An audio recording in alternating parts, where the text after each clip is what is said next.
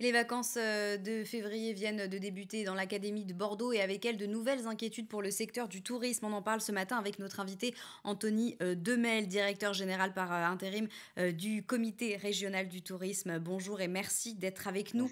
on l'a dit, les vacances d'hiver débutent. à quoi faut-il s'attendre en Nouvelle-Aquitaine? Est-ce qu'il y a quand même des réservations dans, les, dans les hôtels, dans les complexes touristiques?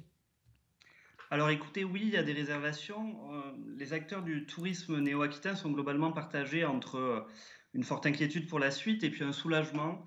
Ces dernières semaines, avec la non-annonce d'un nouveau confinement, euh, on a clairement observé une hausse de 25% des, réservations sur les 15 derniers jours. pour ce qui est des, des, seuls meublés de tourisme, donc les logements individuels, les gîtes, euh, avant le, week-end, on était à plus de 40% de réservation, euh, donc de, taux d'occupation sur euh, le massif pyrénéen, par exemple, pour la partie néo-aquitaine béarnaise. Alors pourtant, on a, vu un reportage hein, dans notre journal il y a quelques, euh, minutes euh, où euh, certains professionnels, donc certains hôteliers, nous disaient qu'il y avait très peu de, de demandes et, notamment que certains hôtels surtout restaient fermés car la demande était, était trop faible. Qu'est-ce qui est prévu justement pour aider le secteur touristique Est-ce qu'il y a des aides aujourd'hui qui sont déployées en Nouvelle-Aquitaine? Alors bien sûr, il y a des aides, je vais y revenir, mais euh, le secteur de l'hôtellerie traditionnelle est beaucoup plus impacté que d'autres euh, mm. que d'autres euh, hébergements, par exemple les gîtes ou les meublés de tourisme qu'on trouve sur des plateformes dites collaboratives, tout simplement parce que les gens ont encore la crainte de devoir aller à l'hôtel, des craintes sanitaires bien sûr, des craintes de confort aussi. Dans les hôtels, il faut porter le masque dans les couloirs. Et puis c'est beaucoup plus difficile de se restaurer avec les restaurants qui restent fermés. Donc cette année, on voit clairement que les touristes privilégient les logements individuels de type, de type gîte, là où on peut se restaurer à domicile, où on peut se retrouver aussi en famille, entre amis, sans masque. Des aides, il y en a beaucoup pour aider le, le tourisme. Il y a bien sûr les, les aides d'État, mais également des aides qui sont déployées par le Conseil régional de, Nouvelle-Aquitaine, 4 milliards d'euros euh, déployés à nouveau par le Conseil régional lors d'un nouveau plan d'aide qui a été euh, dévoilé et voté par les élus de Nouvelle-Aquitaine au mois de décembre, des aides exceptionnelles, du soutien à l'investissement, euh, de l'aide au départ en vacances aussi pour les, ménages les plus modestes. Euh, je vous invite à retrouver toutes ces aides sur entreprise.nouvelle-aquitaine.fr. Et puis nous, au niveau du CRT, donc plus globalement sur la promotion touristique, on, on lance euh, on a lancé ce week-end une grande campagne d'aide au départ en dernière minute pour les destinations de montagne de la Nouvelle-Aquitaine. On a trois stations dans les Pyrénées béarnaises qui sont prêtes à accueillir les touristes. Euh, bien sûr, il faut apprendre à, skier un petit peu euh, autrement, mais les stations ont su s'adapter. L'offre est, parfaite pour le, tourisme en famille, chien de traîneau, ski de fond, et puis tout simplement prendre un grand bol d'air à la montagne, ça peut que faire du bien. Et, donc pour tous les néo-aquitains, ça peut être aussi l'occasion de, consommer du tourisme local en partant dans les, Pyrénées béarnaises.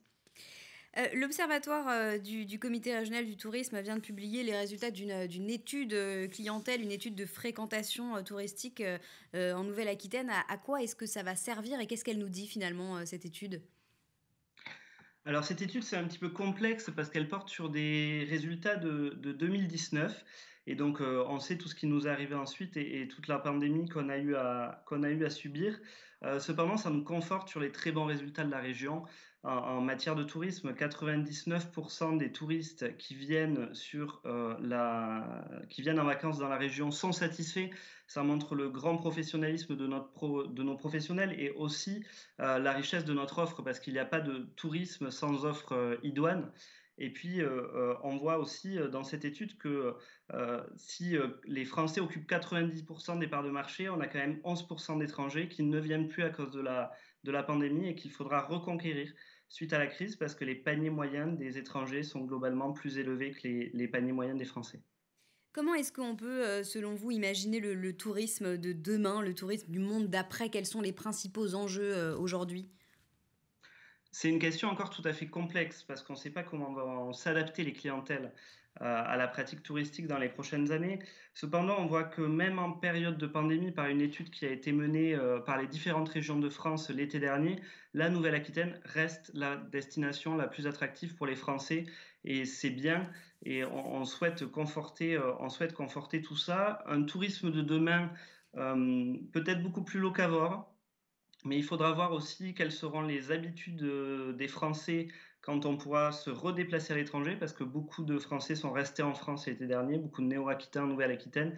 Ça sera peut-être moins le cas. Il s'agira d'arriver de, à, à séduire ces clientèles. Et puis, euh, la perspective euh, des variants qui arrivent sur le territoire nous laisse présager d'une saison estivale qui va encore être difficile.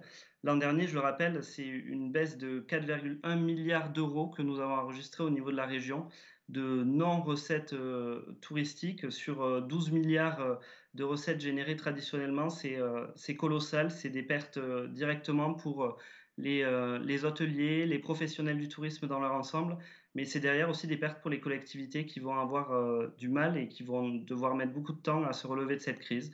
Donc euh, on espère toujours être aussi attractif demain.